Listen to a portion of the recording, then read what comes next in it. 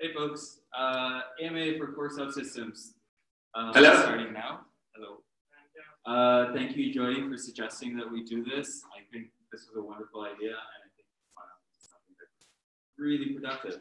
So this is going to be the format for it. We hit up a bunch of folks, and a bunch of folks um, uh, volunteered in the issue to introduce uh, a subsystem that they find themselves familiar with, and then we'll open up to questions. Um, simple enough. Uh, we'll get started. Folks here. Uh, also want to say if you are familiar with a subsystem or you've worked on it, uh, feel free to answer the question, uh, even if maybe that subsystem is mentioned here attached to someone else's. Um, oh, okay. It's uh, you can't see everything, but first, uh, Anatoli, would you like to introduce a couple?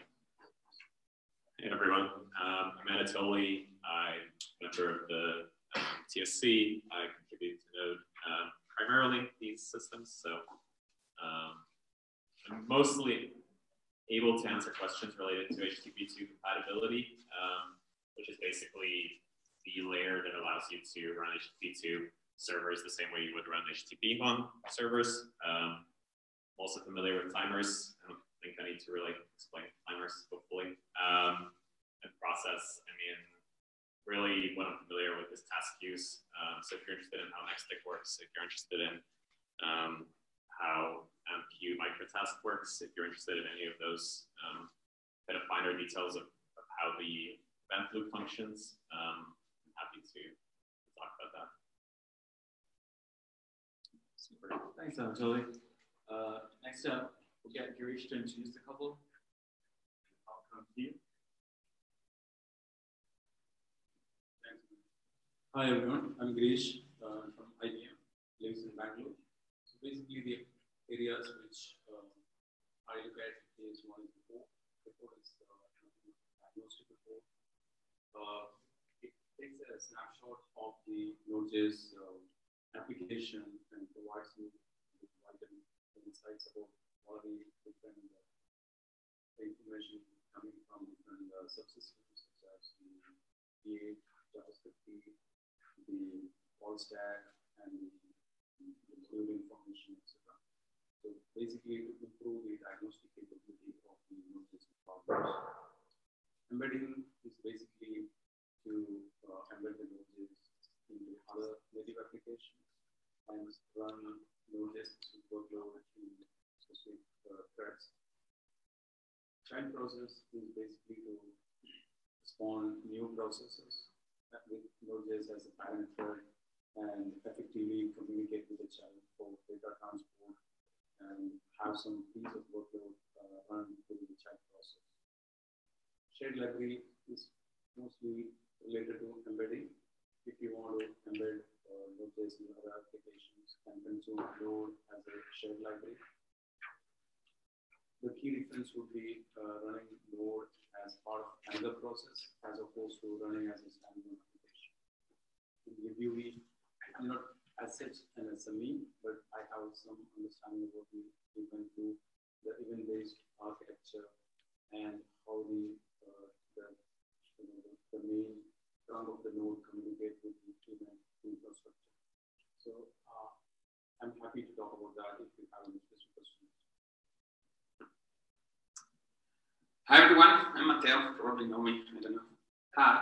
Um, as you might know, uh, I am more or less with some other folks maintaining Node streams, which is probably the most legacy piece of very nice code that is in in Node.js. And uh, on a long quest of trying to make this a little bit more maintainable and a little bit more usable, and you know not really uh, such a mess. Um, you know maybe we'll see where we are at.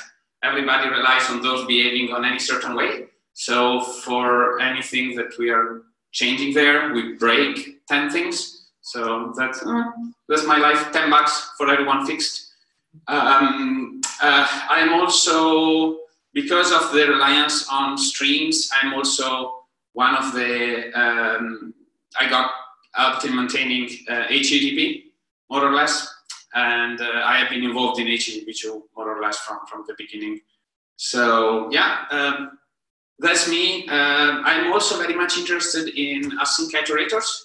So I've added async iterators to streams and, you know, I'm interested in all those stuff. So if you would like to talk about those, also shout a question. Um, hi, I'm Anna. Uh, I don't want to do a long introduction, but uh, uh, um, yeah, I'm, I'm, i have basically been all over the place in Node. Uh, I mostly work on, on things that touch C++. I don't know how to turn this. Yeah, because you're in front of the Okay. so Maybe you're move not- it further. Yeah, I don't know. Sorry. Um, and so yeah, I, I'm I'm doing that. If I'm famous for anything, it's work on threads and Node, but uh, yeah, don't really want to say anything more.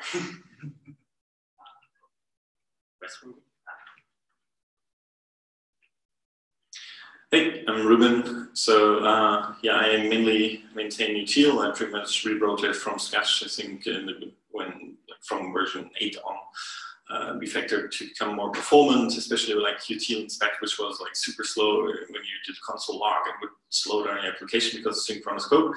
Well, that's not the case anymore, uh, happily. And um, yeah, I'm trying to uh, improve uh, the uh, output um, also when you uh, put something weird in there so it can pretty much reconstruct a lot of information no matter like how you manipulate your objects um, and uh, yeah buffer okay i don't know the native site pretty much at all. What i mainly did is like all the read write functions at some point to uh, replace them.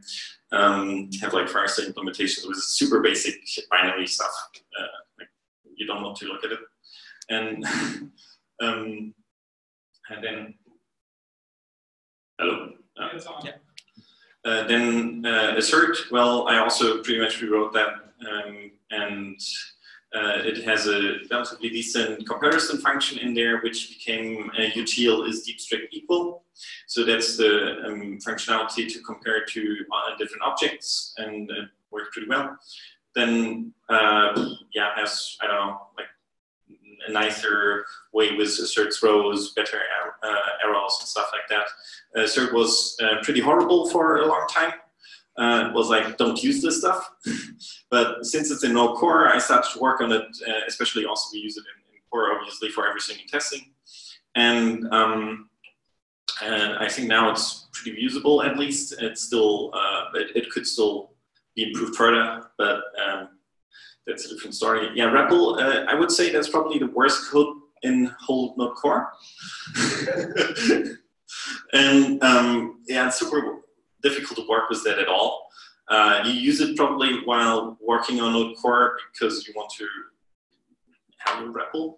Uh, yeah. I don't know. We should replace that thing. Um, uh, path, so the path module is very basic code again uh, to, to have uh, path manipulation or, or to, to join different paths and so on. Um, you don't want to look at the code, but it's, it's, it's fine. It works fine. It's just, it, um, it's fast. And uh, in this case, the code is also written well. It's just more complicated because it's very basic to be so fast. Um, yeah, and benchmarks, anything that has to do with static core. I do a lot of performance optimizations. So, yeah. Tobias? Tobias? Tobias? Tobias? Tobias? Ah, yeah. Hi, I'm Tobias. I mostly work on crypto, probably one of the least popular modules in Node Core, but sadly necessary, mostly because we bundle OpenSSL or um, Electron bundles. Uh, I think it's LibreSSL by now. Not entirely sure. Um, so we do have a built-in crypto module and it is used widely, but only by a few modules, which are then dependent on by far more modules. And um, we do try to support all new algorithms that are popular on the web, everything that web crypto does, but the problem is that um, OpenSSL, which we depend on, does not really support all new standards, so we have to try to keep up with them, and they have to try to keep up with standards. So I added a lot of features to the crypto module within the last two years, and I added a lot of bugs, and I fixed a lot of bugs, and uh, probably spent more time debugging OpenSSL internals than Node itself. So hopefully I can answer any questions you have about the crypto module. Thanks. Super. Now we have Sam. Um, Hey there, um, I'm Sam. I worked a bunch on the cluster module and TLS module lately. Um, you're not, we're supposed to define, tell people what modules do. If you don't know what cluster is, don't use it.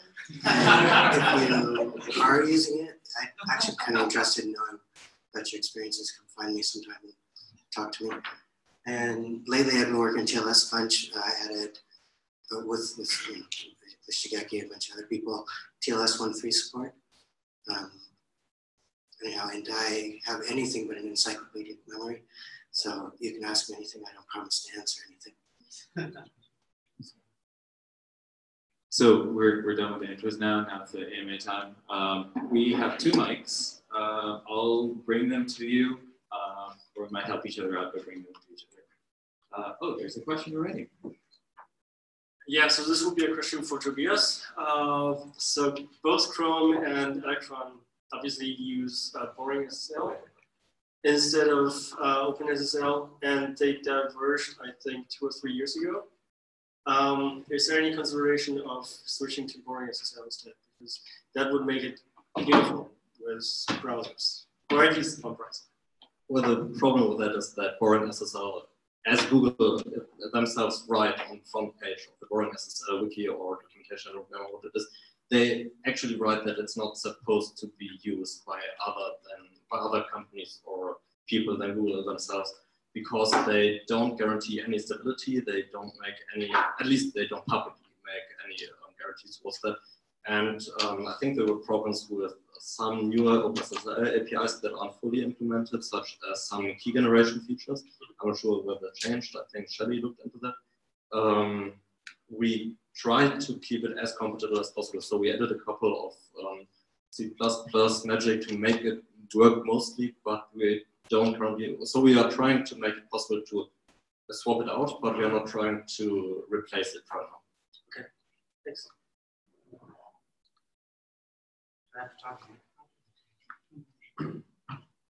I'd add two things to that. One of them, yeah, they don't have an LTS support plan, so it's kind of a non-starter, um, and they don't have FIPS, which if, for people who don't care, they don't care, but if you do care, it's really important. So it's not. What was that last one? They don't have what? Uh, BoringSSL doesn't have FIPS, unless someone knows correctly. Yeah, there's no FIPS support. Uh, well, neither does Node at this point. Uh, Node does at this point, but we won't pass uh, December until uh, for a few months. There's going to be at least a few months gap. OpenSSL FIPS is still in, in flux. I'm going to start looking at it soon. But uh, yeah, for OpenSSL itself, there's going to be a gap, uh, which means that Node will have a gap with no, no fix. It's unfortunate, but so it is. Hi, everyone. Um, I have a question for Matteo. Uh, so, Matteo, um, you said you were interested in async iterators. Yes. And uh, so I just wanted, to, I want to let you know that like my colleague who also works at Bocoup, Valerie Young, right here, purple blue.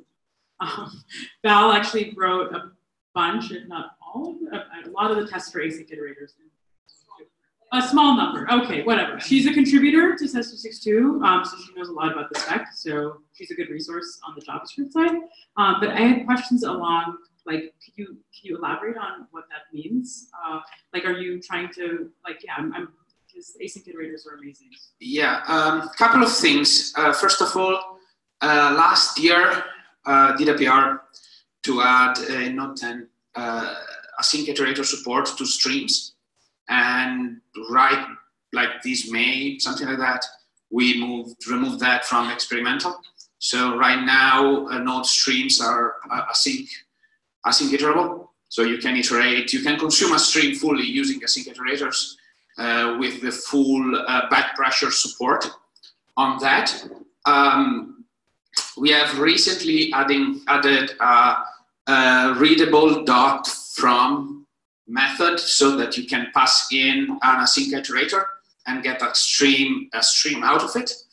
And uh, we are going to look into supporting async iterable for with the async iterators in the pipeline, uh, in the stream.pipeline uh, function so that you can process a, a, a stream of data uh, just using async iterators. So basically, you can take a you know a file and then you know combine it into uh, with an async iterator, and then pipe that into another file, and all of these writing more or less idiomatic JavaScript without having to deal with the uh, legacy node structure. Call it legacy, but that's my take on it. Uh, the node stream API that we cannot really change.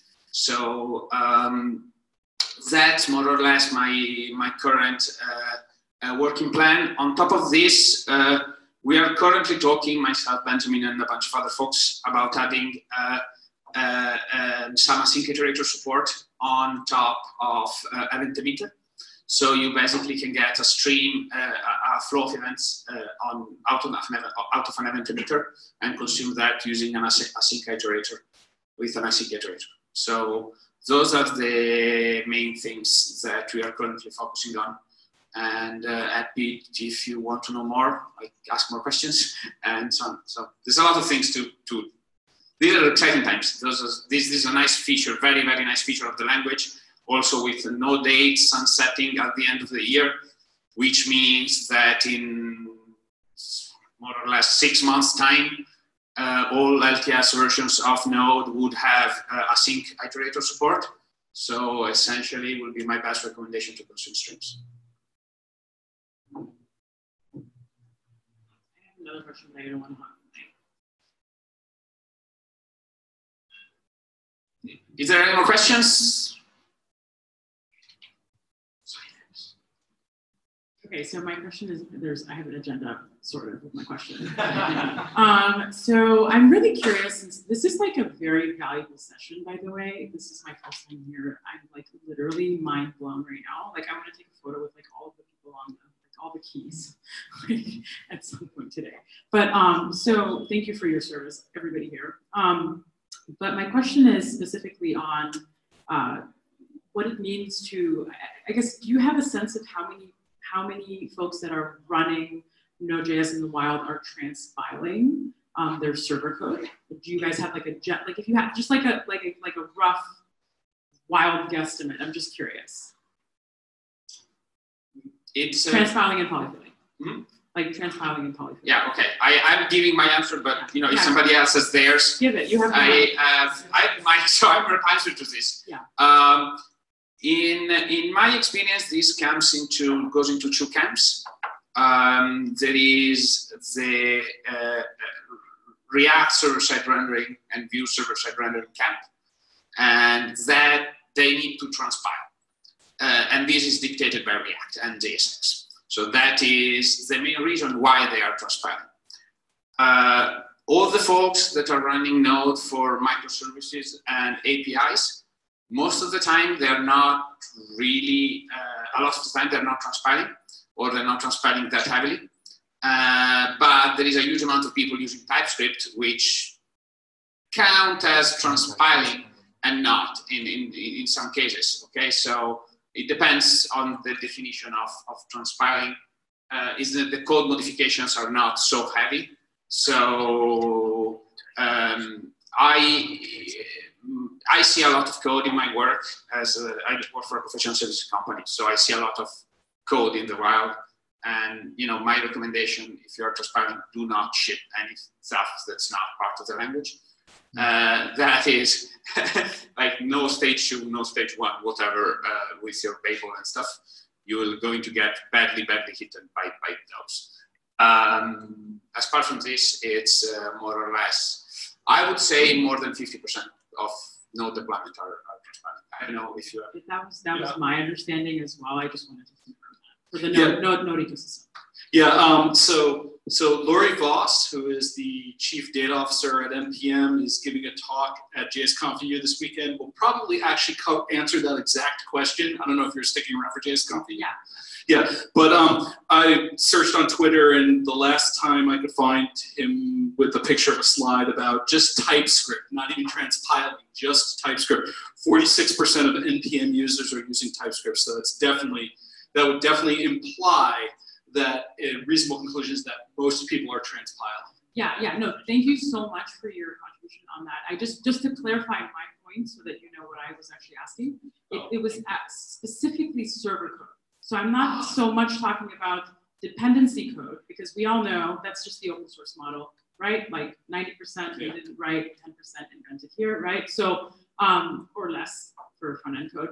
And so, uh, you know, I, I just was trying to understand how much of server application code is transpiled because if you're saying to me, Matteo, it's at least 50%, likely more, um, that you as implementers of these native modules, right, um, that means that your code is actually not getting tested, right? Because um, when you're using a transpiler or polyfill, you're not using the native implementation, um, which is really problematic, right? So this is a pitch statement to my five o'clock session.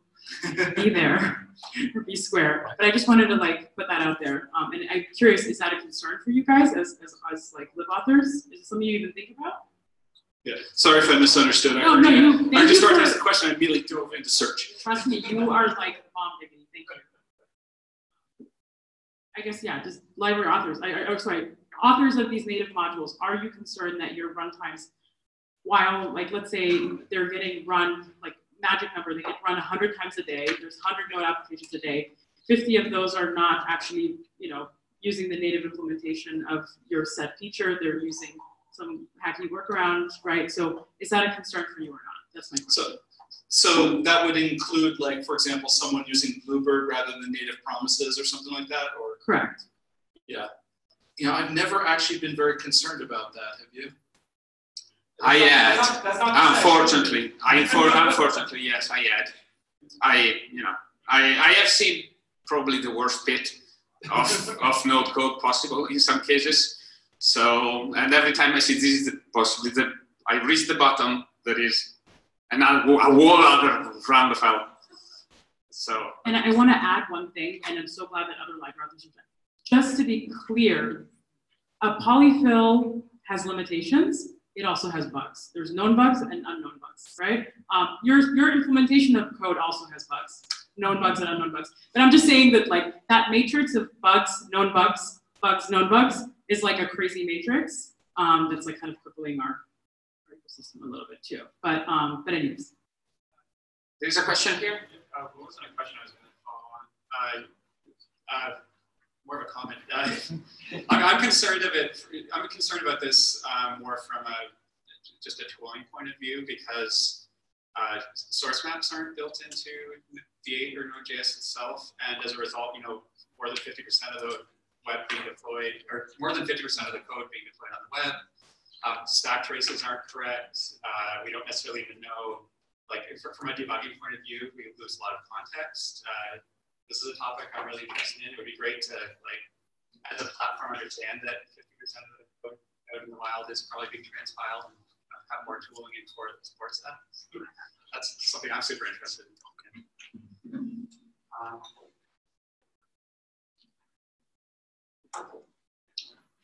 Um, just before we take another question, I was just going to add that Ujjwal said on the chat that they can answer questions on VM and modules. I added that there in case people are taking photos to DM people later or whatever you intend to do with it.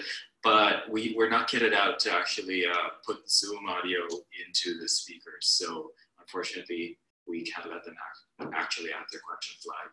Sorry, Joe. Hi. Um, again, uh, thanks for setting this up. It's really great to have people to ask all these hard questions.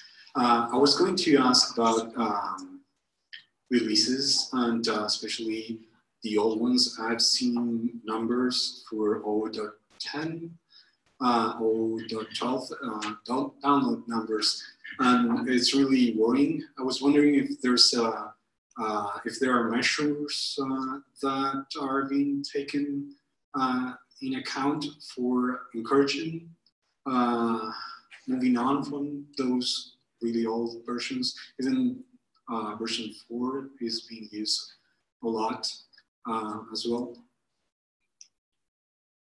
Sorry if it's really hard to answer. Um, not sure who's going to answer this question. Uh, raise your hand. Uh, if you are uh, I, I was multitasking, sorry. Yeah, no worries. Um, I was asking about uh, like active uh, measurements to encourage people to stop using like order 10, order 12. Uh, maybe like uh, sleep uh, there, like uh, something, but yeah, like the download numbers are in the thousands for both, and maybe the same thing for version 4. I want to add, there are a couple of things there. We don't have the data to say that actual people are using them. There is uh, 0.10 and even 0.8 are still in some uh, .travis.yaml file out there, so it might just be bots. And we don't have any data to, to distinguish between those. Um, you know, if I don't know if you know about this, but Express still tests down to 0.10 or 0.8 or something just so that you know there is a proper package and all this press system still runs on 0.10, which is pretty amazing, by the way. And uh, um, so yeah, that's you know so um, the other bit is we cannot issue new releases for those things. So that's that's, that's the second point. We can't. Be concise because we're over time. yeah, the, yeah. The short story is there's not much we can do other than go out there, social engineering, explain in a help people move off of those things. Even if we did add some kind of switch to say, you know, this is going to start slowing down, people just won't use those versions. It slow things down, right? And it'll, it'll actually encourage them not to upgrade to those. So just, you know, strongly encourage people to upgrade. Thank you. Um, this wraps our AMA. Uh, thank you for all the remote folks who tuned in. Um, I think folks on the list are pretty much open to answer questions um, if you hit them up later. We're moving on to the OpenJS Foundation CPC session. Uh, and before we get kicked off, I just wanted to thank Owner. Um, I can't see where they are now, um, who's been helping us uh, pipe the audio to the remote folks. Um, so that's super and thank you for all the people who have been answering questions uh, and volunteering to do so. Really appreciate it.